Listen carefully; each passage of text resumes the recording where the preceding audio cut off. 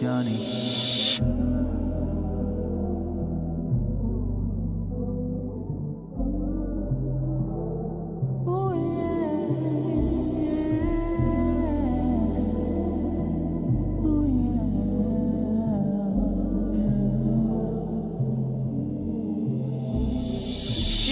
me if we fucking for convenience.